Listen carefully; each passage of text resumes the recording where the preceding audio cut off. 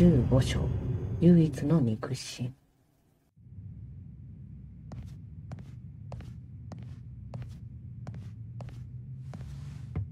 どうだ？少しは落ち着いたか？え。交流会相手によく戦ったな。えいや。俺も和樹さんもこの町がなけりゃ今の自分はなかったんです。だからカムロ町に攻め込んでくる奴は許せないんです。けど俺は奴ら相手に何もできなかった。そんなことはない。体張って店を守ろうとしたじゃないか。桐生さん。お前たちは毎日一生懸命働いている。立派なもんさそれがカムロ町の力になってるんだ。それに引き換え俺はこんな時にしか役に立たない男だ。一人で病院へ行けるか？はい。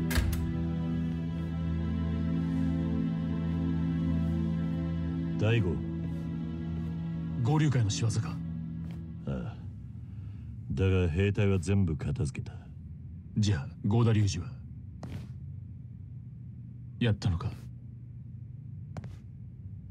いやあいつとの決着だけが残ってしまった。そうか。爆弾の方はどうなった？30個は解除できた。今最後の一つを真島のおじきが解除してる真島の兄さんが。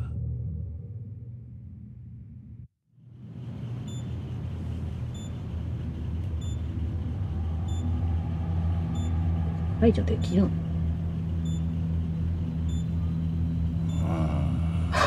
ほんまにできるか？お前運だけで言うなよ。赤や。ほんまか？はいえ信じられねえ。信じられねえ。止まらねえ。次は。青やな。本当に？ねえ。本当に言ってる。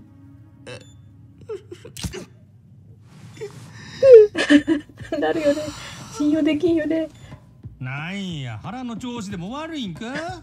いや故郷に残してきたお袋のことを思い出してしまって。なんでおかんと爆弾が関係あるんや。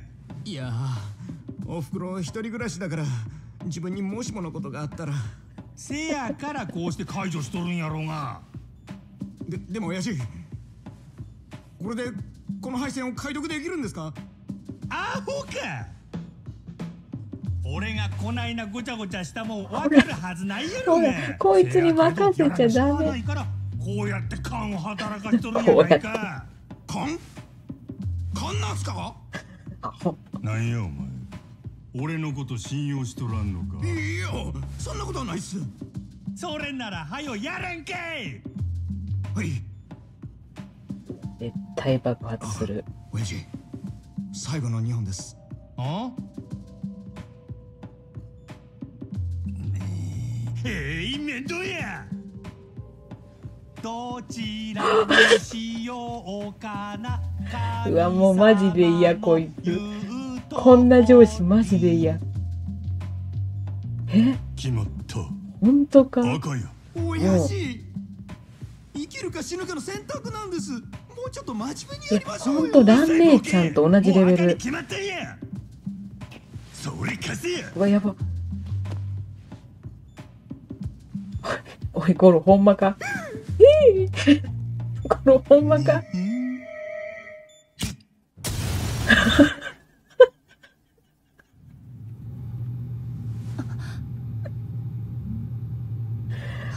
最悪。嫌な夢ね。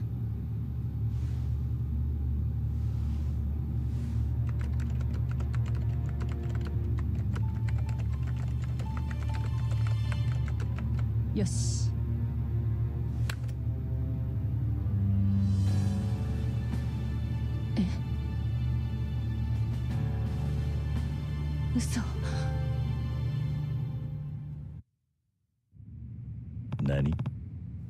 当に真島の兄さんが爆弾の解除を？パン言うてたね。あそれが最後の一個だ。大悟さ、バカなの？ねえ、あの子にそんなこと任せるなんて。そっか、とりあえず一旦サイの河原に戻ろう。あ爆ああ発行くぞしてましたけど。え、大丈夫？ゆうや、もう。ゆうや大丈夫ぞ。俺なら一人で大丈夫です。桐生さんもこの先お気をつけて。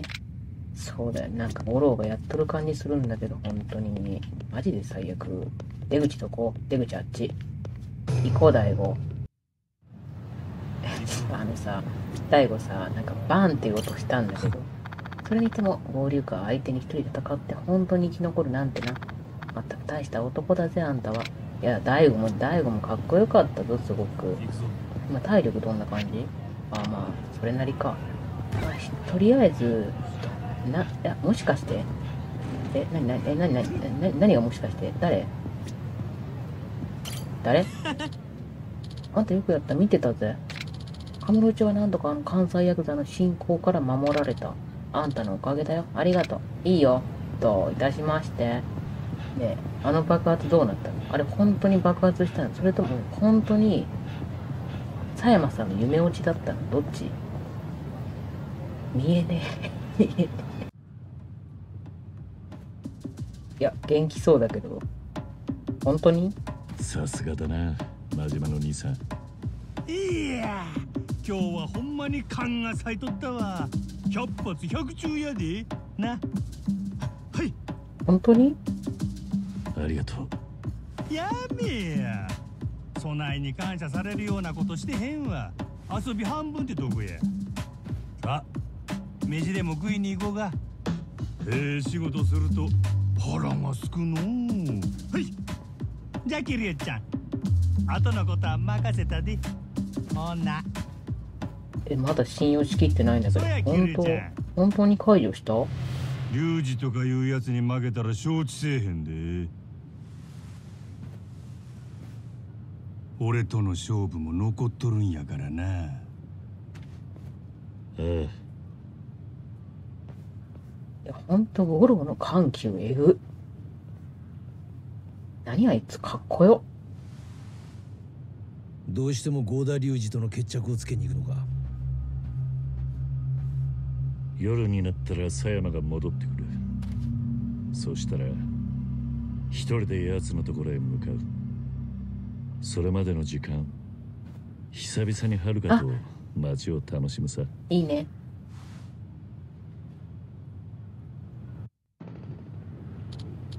ギリュウ、実はちょっと話しておきたいことがあるんだ。え、何？アリが後でセレナに来てくれるか？ああだが、今じゃダメなのか？いやああ、ここじゃちょっとな。それにこっちにもいろいろと準備があるんじゃないうん？何準備って？何パーティーでもするの？準備あ準備ができたら連絡する。それまでは、はるかと思いっきり街を楽しんでくるといい。いや、そうだよね。竜がこと極み以来だもんね。カムロ町を離れてからね、ずっと一緒に住んではいたけど、カムロ町に戻ってくるのは久々だもんな。今まではるかには寂しい思いをさせてきたわけだしな。そうだなうん。それじゃ、後でな。ってことはまた、はるかちゃんのわがまま聞くムーブに入ってくるのかな。大悟見て、うちの子。キャワでしょ。とにかく爆弾解除がうまくいってよかった。本当なに本当なのかなこれで残る問題は合田隆二のみか。桐生さん、絶対に負けんじゃねえぞ。任しとけ。本格的なドイツ。出た？わがまま。何？ドイツ？おじさん、あれ買ってほしいんだ。西の方のコンビニに売ってたかな西の方のコンビニ？一回出るかじゃあ。よし。じゃあ、はるかちゃんのわがまま聞いてあげようっと。西の方のコンビニってことはここか？すっぽん通りのポッポかな？ちょっと遠いからタクシーに乗ろっか。あ、なんかここかな？って、ドイツ風って言ってたよね。いらっしゃいませドイツ風。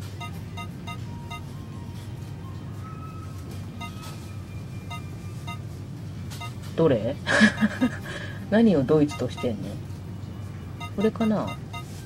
フランクフルトかな？あ、これだ。本格的なドイツ風粗挽きフランクフルトソーセージ。これだね。ありがとうございました行こうありがとうおじさんいいよ。粗挽きお肉で美味しいんだよ。いや、美味しいだな。シャウエッセンかな。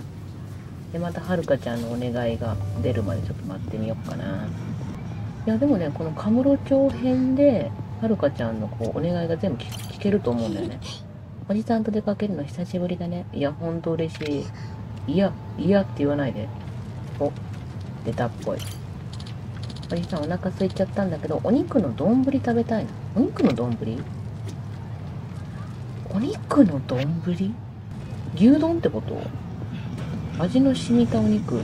いや、なんか牛丼っぽいな。ここが赤牛丸。わかんないけど、私ここ行ったことないから、基本すき家しか行ったことないからわかんないんだけど。これかなと思う。ここで何食べたいの？はるかちゃん入ってこ。はるかちゃん、入ってこれる？お腹空いちゃった。お肉が乗ったご飯食べたい。でもあんまりたくさんは食べられない。オッケー。で、ちょっとのやつでいいんだね。いらっしゃいませ牛丼並み。まあご飯だからね、牛皿ではないよね。これかな？台とかじゃなくていいよってことだよね。ど お腹空いちゃったうなんかはるかちゃんの口調ちょっと大悟とペアルックみたいだな。いいな。僕も着ようかな。行こうありがとうおじさんいいよ。やっぱりお腹すお腹空いたらこれだよね。わかる。私も好きや好きだから超わかるわ。うまいよな。あの廃墟のビル行ってみたいな。え？あ、もしかして、ここかな竜宮城のこと言ってんのかな？え？賭博したいってこと？なんか勝負強さ見てみたいって言ってるもんな。いや、でも何させる気なんだろう。おじさん得意だったよね。ここで何するの？はるかちゃん。廃墟ビル。いや、何するとか言ってこないな。いや、多分ここだと思うんだけど。何の賭博するかによるんだけど。ほいこい。あ、任しとけ任しとけ今までね、はるかちゃんにね、いいとこ見せられなかったけど、恋恋ならね、おじさん得意だから。まあ一応この花札の恋恋っていうものがあって、まあ、掛け点ちょっと30点でいきましょう。ちょっと旬とかもいらないかな。まあ、とりあえず3回勝負でいっかな。はるかちゃんに見せたいだけだから。まあ、それぞれのね、役の絵柄が、その月ごとのね、1月から12月の絵札があって、その役の強さで勝負をするっていう感じですね。で、今さ、私の手札、右側のね、もうちょっと役が成り上がってるやつがあるんだけど、右から2番目の鹿とイノシシがあるじゃん。で、これを選ぶことによって、イノシカチョウというとんでもない役が完成させていただきます。ほら、見たことが強いえー恋しろ。恋しろ。お前は恋をしろ。恋をするしかないだろう。やめてください。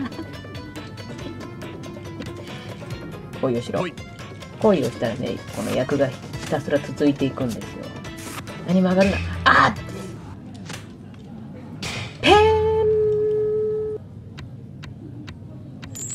もう一回もう一回。はるかちゃんに怒られるから、いいとこ見せたいのおじさん。得意なことだけでもいいから。見てください。優秀です。恋しません。よかった。ちまちま勝負だったけど。しない。はるかちゃん見て。ああえ？どういうこと？え？はるかちゃん？恋恋で500点以上なるほど。あ、待って。あ、なるほどね。500点以上でも、掛け点めちゃくちゃあった方がいいんじゃない上級でがっつりやるしか。待ってくれ、500点オッケーこれは優秀すぎませんか？どうでしょうか、はるかちゃん。おじさんゴルフはできないけど、掛け事はできるんです。おじさんすごいよ。板についたと、は、ば、ば、ば、ば、ば、バクトぶりとわかんない。やったーよかったー。ついでに換金していこう。まあ、4000点あるから、このプラチナ皿を1個ね、買っておきましょう。いやー、いいね。うんと、何誰だよ。今、はるかちゃんと遊んでんだけど。桐生だ。俺だ。今ちょうど準備が終わったところだ。何本当にサプライズパーティーしてんじゃん。そっちの映画を片付け次第セレナへ来てくれ。佐山が帰ってくる前にお前にどうしても話しておきたいことがあるんだよ。わかった。話しておきたいことを、しかも準備があるんでしょサプライズでしょ、どう考えても。おじさん食べたいものがあるんだ。しめ鯖なんだけど、南の方のお店にあった気がする。しめ鯖？え、何？南の方のお店にしめ鯖？これかな？寿司銀。ここっぽいよな。ここか。お寿司屋さん。確かにここ何回か来たことあるな。いらっしゃいませえーっと、しめ鯖が欲しいんですけど、どれでしょうか？ありがとうございましちょっと待ったてくださいね。おじさん食べたいものがあるんだよ。ここじゃないの？これ、はるかちゃん。あれ？はるかちゃんどこ？あれ、はるかちゃん？はるかちゃん？はるかちゃんどこ行ったの？おじさん食べたいも、あ、ここ？あ、ここね。ここで何が食べたいの？厳選しめ鯖ね。お店間違えてたね。こっちだったんだね。厳選しめ鯖。結構渋いの食べたがってますね。どうぞ。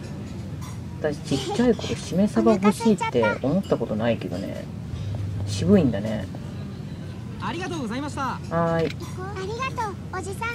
油の乗ったサバに絶妙な酢のバランス何杯でも飲めるよね。お茶。いや絶対飲んだ。焼酎かなんか飲んでやる。うわ絶対楽しんでるやんはるかちゃん。やめてねいっぱい飲む女になるの。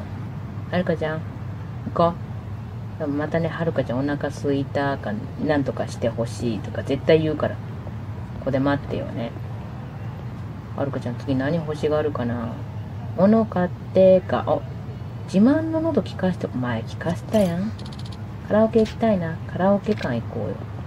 カラオケ館だったらここでいいのかなうん。すぐ近くあるね。行ってみよう。すいません。いらっしゃいませ。何名様でしょうかおじさんとはるかちゃんです。二人だ。かしこまりました。料金1000円となります。入店します。それではご案内いたします。カラオケ行きて、私も行きたいんだけど、行ってこよっかな。もう実況放り出して、カラオケ行ってやろうかな、一人で。カラオケ嬉しいな。早く入れてよ、おじさん。何歌えばいいの？乙メタル前難しかったから、え、どうしよう。もう一回再挑戦してみていい？黙って。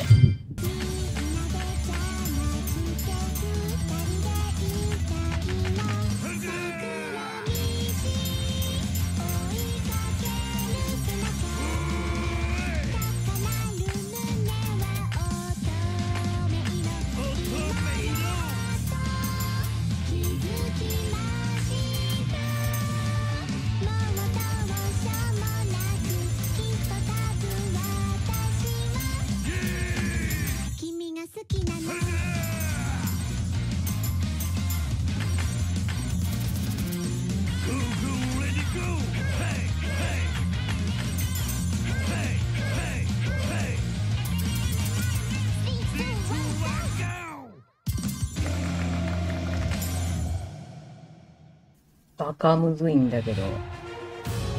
だし、犬気になったんだけど。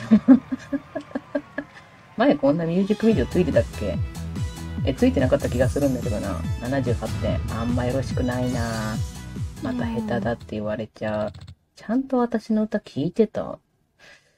聞いてはいたんですけど。う わじゃあ次おじさんの番ね。いや、これもちょっと真面目にやってきます。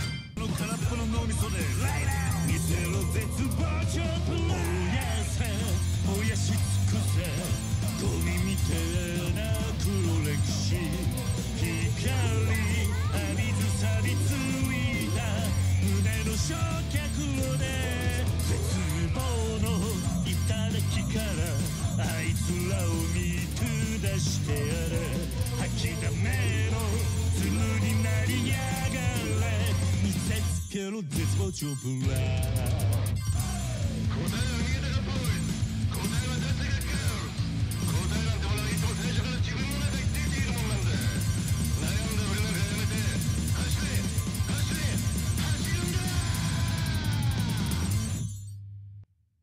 はなってると思うんだよな。結構前回の反省点を生かしてると思うんだよな。どうでしょうか？?92 点。いや、いいんじゃない？いいんじゃない？どうなの？おじさんの歌私好き。よかった。まあ、満足いく出来ではなかったかな。お時間だって。そろそろお時間となります。わかった。いや、満足してくれてないかな。どうだろう。好きって言ってるもんな、おじさんの歌。ありがとうございました。またのご来店お待ちしております。おじさん上手だね。本物の歌手みたいだって。本当にもう、はるかちゃんそういうとこ好きよ。お、A になったね。はるかの救急箱。いや、もうちょっとだね。まだ全然いっぱい。お願い事叶えに行こう。走って行ってる。スマイルバーガーかな。変わったバーガーあるんだって食べてみたい。角煮かな。おじさん、お魚のパン食べたい。魚？お魚あったっけ？いた。すいません、お魚ありますか？いらっしゃいませスマイルバーガーへようこそ。えーと、これか。マグロバーガーか。確かにこれは珍しいですね。お、喜んでる、喜んでる。さっきはしめ鯖で次はマグロですね。そう。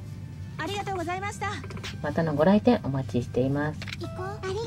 おじさんマグロのさっぱりした風味が絶妙だって美味しいよね。私もフィッシュバーガー好き。フィッシュフィレオかな。でもね、一番好きなのはね、朝マックのね、エッグマフィンなんだ。いや、でも多分、今、ランク A まで行ってるもんね。結構叶えてきたぜ。お、まだなんかある。おじさんと出かけるの？久しぶりだね。いや、今は、あの、わがまま待ちだから。もう、わがままフェアリー見るもとポンやってくからね。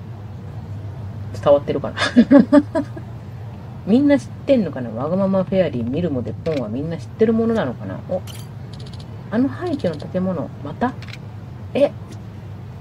また掛け事ですか？はるかちゃん？おいちょ株ね。あおいちょ株私覚えてきたから大丈夫だよ。まあ、おいちょ株も言ったら花札を使ってするゲームなんですけど。まだね、恋恋とはルールが違うので、最近やっとね、ちょっとずつ覚えてきたところなんですよ。ただね、はるかちゃんが何点以上取れって言ってくるから、はるかちゃん、おいちょ株、どのぐらい取ったらいい点数この鳥羽のおいちょ株で300点以上ね、300点以上。とりあえずさっきなんか交換しちゃったからさ、寄付だ。1万円分買っといて、300点以上ちょっとやらせてもらっていい？ここではおいちょ株が遊べるやっていくかい？はーい。あ、やっていこう。どの難易度？いや、まあ、とりあえず中級でいいっすか？これで頼む。まあ、これはとりあえずなしにしておこうかな。行くぜ始めるぞとりあえずなんかね、自分の札をまず決めるんですよ。で、左上に親がいるんですけど、あれの合計が一番強いので9。で、9を超えたら0スタートでまた始まるんだけど、0123って。で、それよりも、大きい数字で勝った方が勝ちっていう感じですね。今2と10が残ったよね。どっち選んどく？まあ、あと2枚めくれるし2を選んどくか。とりあえず、最初なので、まあ、50点ぐらいかけとく。どうする？8でしょ？勝負だ。これで向こうが9さえ出さなければ全然勝てるから。8、うわ勝負だおいちうわもう、おいちょー。8位か、8位か。よしおいちょおいちょー。これだこれだいいですね。私が今親になった合計が8なので、うん。うん、合計8なので全然勝てるんですよ。なので、勝負です。もうこれでもう全然みんなに勝てば、もう一気に結果200点勝ったわけでしょ。こいつが、お、いいね。結果641点。これでいいんじゃない？親にさえな、結果214点。ダメですね。え、でも300点取ったんじゃないかなと思ってるんだけど、どう？結果300点は取ったかなって今思っておるが、あダメだったの？おじさん思ってること顔に出ちゃうんだよね。嘘もう一回やってくる。バカみたいに300点かけてしまっていい。これで勝てさえしたらさ、全然。どうする？やばい、どうしちゃうあ、やばい。勝負だダメだ。合計一応さなんか嵐の洋館っていうアイテム使ってみたんだけど何が変わるんだろう？なんか勝手に変わってんな。にえ？輪はダメじゃない？もう一枚。もう一枚いるよね。嵐。あそうなるのか。勝手にゾロ目になってバカ強くなっちゃうんだ。いやもういいんじゃない？結果1000点取ってんだよ。いやもうバカ強なんだけどよしありがとうおじさんすごかったな。すごい心理戦で私も緊張したよ。ふふ、これがね、イカ様って言うんだよ。覚えとけ。そう、でも結構あの、新アイドゲージみたいなの溜まってきたけど、おじさんあれ買って帰りたい？南の方の大きいお店で見た気がするんだ。あ、じゃあドンキかな？ドンキホーテ行ってみる？じゃん。さあ、あれ食べたいな。たこ焼き買ってほしい。ここで？このお店でたこ焼き20個買いたい。買い置きしておきたいから美味しいんだよ。あ、ドンキにたこ焼きの買い置きなんてあるんだ。いらっしゃいませたこ焼きください。あ、本当だ。大量たこ焼きがある。でも20個でさ、600円ってらバカ安くない？ありがとうございましたはい。ありがとうおじさんこれ好きなんだ。あ、いいよね。ソースものはね、私も大好きだよ。ドンドンドンドンキドンキホーテおじさんのバッティングの、バッティングか。苦手だなこれ見てください。美味しいおでん。なんかさ、結構街でサブストーリーやるたびにさ、今度から助けますからね、何かあったらって言ってたやんか。こういうことなんだって。いろんなヒートアクションが解放されていくらしくて、今初めてやりましたね。ここに来て。まあ、この近くでやると、あの、コンビニの兄さんが助けてくれるぞっていうことらしいです。あ、バッティングセンターで何をしろっていうのかな。はるかちゃん、バッティングフォーム見たいな。どんなやつ？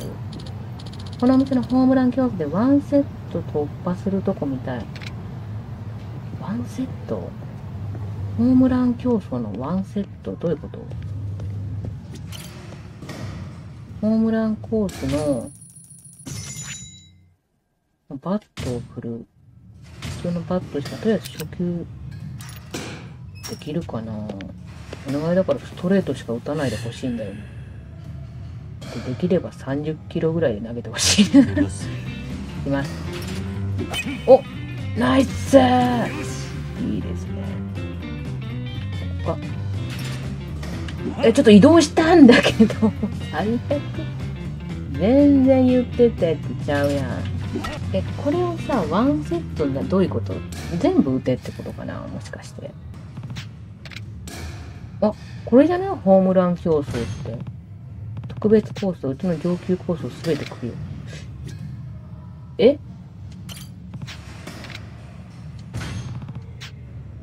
うちの上級コースを全てクリアしたらチャレンジ。マジで？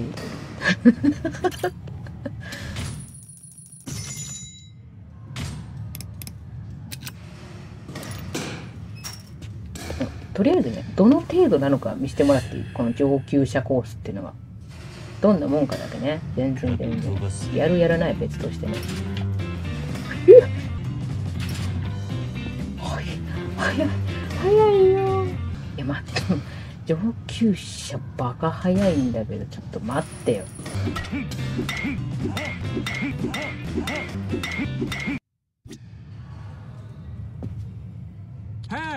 え、そこのお兄さん。なんだ今諦めよっかなって、どうやって視聴者に言い訳しよっかなって考えてたんだよ。何？そうそう、そこのお兄さん。急に呼び止めてごめんなさい。私、アメリカのプロリーグでピッチャーしてるボブです。アメリカのプロ選手だと、アメリカン野球知らねえんだけど、どういうこと？こっちはワイフのチエミ。めっちゃ可愛いでしょ。もうボブったら、よろしくね。あなたのお名前聞いてもいいですか？キリュウだ。桐生さんキリュウさんよろしく。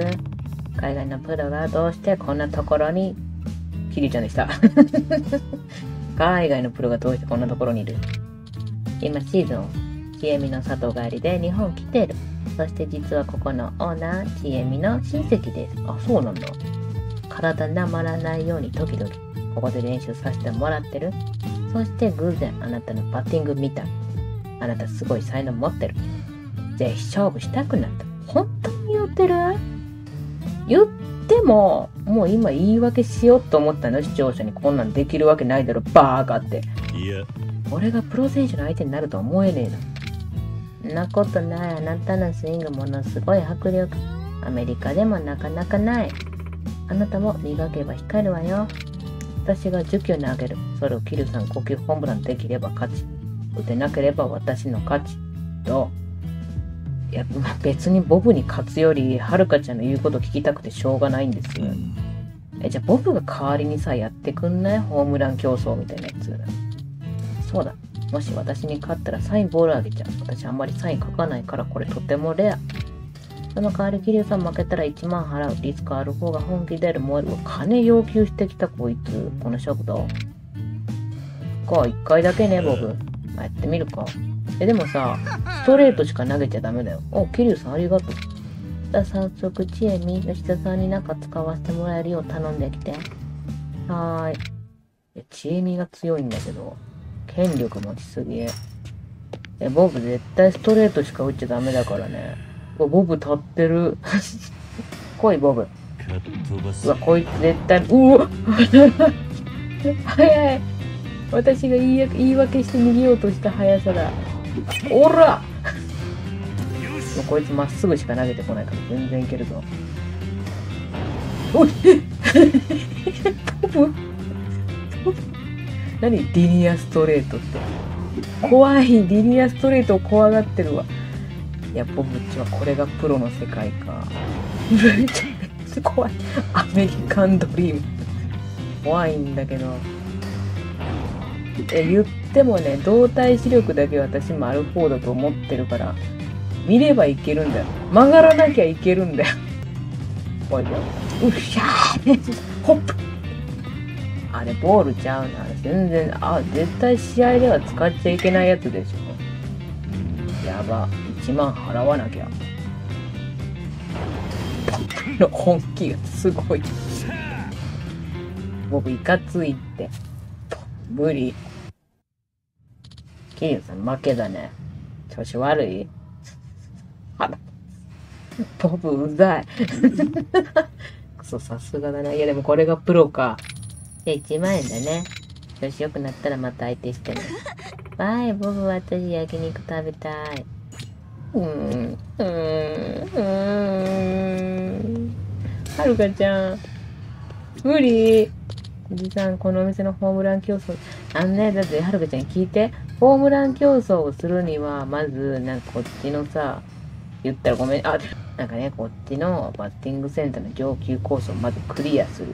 で、なおかつ、それがクリアできたらやっと挑戦できるめちゃ強いコースがあるんだって。はるかちゃん言っとくけど、できるわけないじゃん。いや、なんか、なんかね、うん。言い訳ね、思いついた。ボブで全部心が折れた。だから本当はね、頑張ろうと思ってたの。どんだけ時間がかかろうとも、ホームラン、うるせえいや、本当は、はるかちゃんのおねだりなら私は何でも聞こう。おじさん何でも夢叶えちゃうって思ってたの。思ってたんだけど、まだ言ってんな、おじさんの方みたいなって、おだまり。本当は思ってたんだけど、どうしてもね、ボブによって心乱されたし、心ポキって折られた。もう無理。おじさん頑張れないとこまで来ちゃった。セレナ戻ろう。もう無理。で、なんか伊達さんが、一家にいた。お久しぶりです。久しぶり。いたよね。どうしたんだ？こんなところに。100億事件の時に動いてくれてた人だ。はるか少し桐生に話したいことがあるんだ。表にいてくれないか？わかった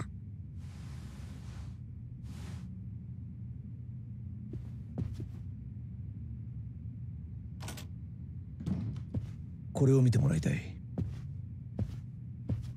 倉橋の持っていたデータをコピーして須藤に解析してもらったんだ。これは？狭山と合田隆二の経歴だ。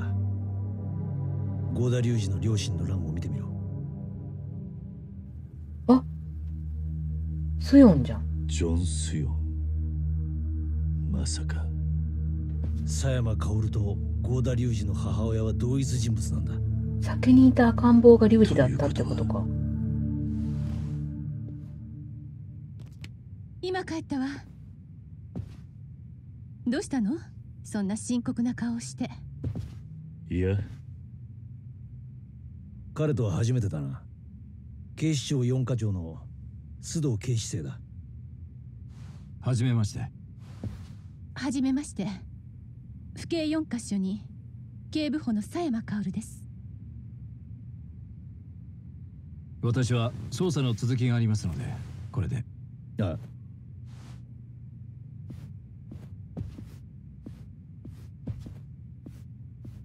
どうして本庁の四課長がここへ？例の爆弾騒ぎのことで俺に事情を聞きに来たんだ。それで爆弾はどうなったの？全て解除できた。そう。それはよかったわ。倉橋が持っていたディスクはどうなった？府警のシステムでも解析できなかったわ。そうか。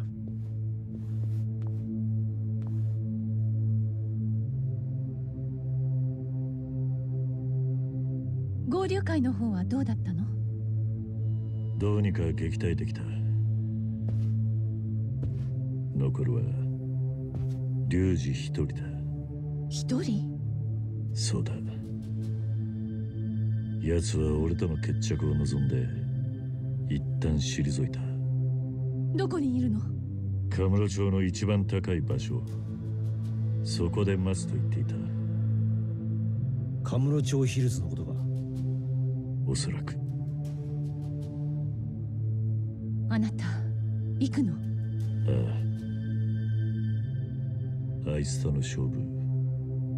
避けて通ることはできない。行かせないわ。何？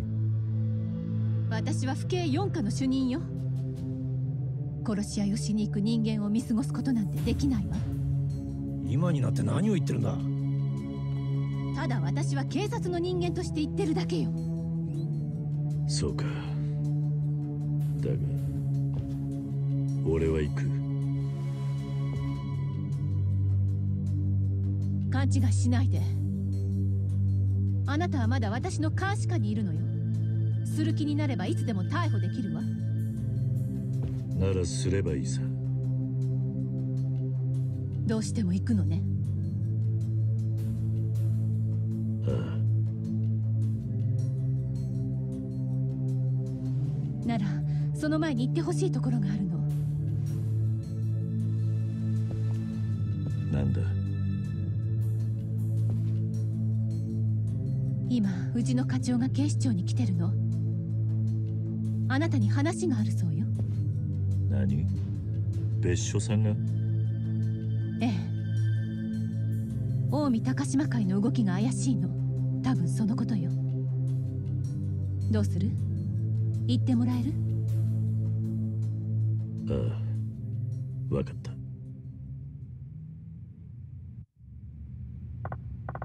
じゃあ警視庁に向かって何？警視庁。ええ。課長は地下3階の13号使用室ってところにいるそうよ。何？それって伊達さんがいたところじゃない？なんだと？うん。伊達さん知ってるの？ああ。あな分かった。13号資料室だな。誰も近づかないって言ってたこれね警視庁の中でも。ええ。よろしく。なんか佐山さん知ってそうなんだよな。警視庁なら俺も一緒に行こう。その方がいいだろ。ああ。頼むはるかちゃんお留守番かな？はるかちゃんお留守番？ねおじさんこれ見て。新聞？うん？え何？これ。あの店員さんデビューできたんだね。よかったね。そうだな店員さん？あ見して。あの歌歌ってた子じゃない？コズミックフィギュアうぜえ あこれだ蒼天堀から世界の歌姫。うんめっちゃすごいじゃん。やっぱあのさ見る見る目あるんだろうな。いやなんかさこのまあ龍二と親が一緒っていう事実をささっきみんな隠したけど佐山さんには。佐山さんもあのデータを見たことによって知ってると思うんだよな。なんか龍二の情報見てたもんね。でスヨンのことも前聞いてたから河原さんから。いやもう知ってると思うんだよな。そっか。じゃあ一番最初オープニングでいたあの赤ちゃんっていうのが龍二でその後に河原さんとの間にできた子供が佐山さんだったのね。じゃあ警視庁向かう？まで行かれますか？それでは出発いたしますはい。お願いします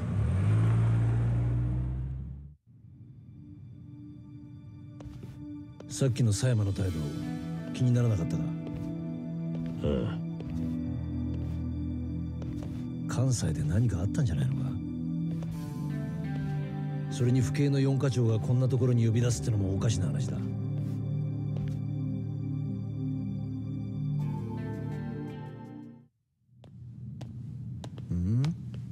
誰もいないようだが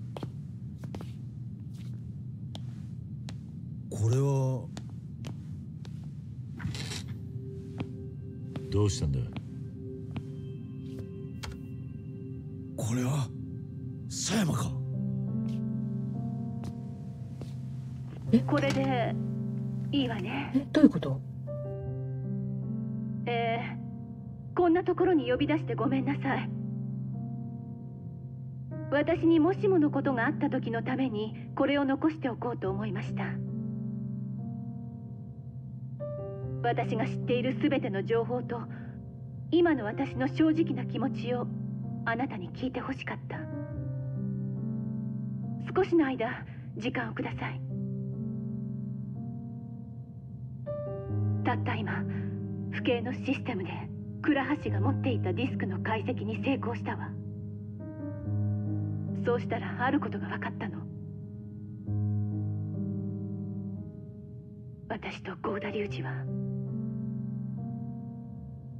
血のつながった兄弟だったのよ。多分河原さん。いや私の父があの現場から救い出した子供が郷田隆二だったのね。今の私にとって唯一血のつながった人間が郷田隆二だなんてこんな皮肉ないわよね。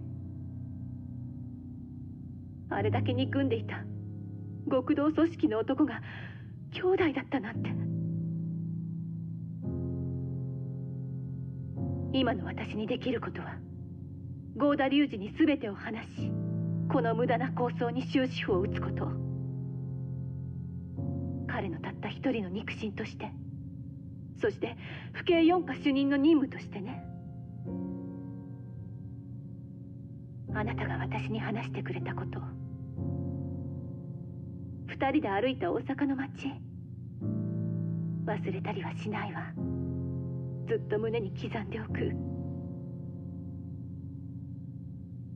それが私にとって唯一のあなたとの思い出。それでいいのよ。やっぱり私とあなたは住む世界が違うんだもの。心を許した私がいけなかったのよ。それだけ。あなたは素敵だった。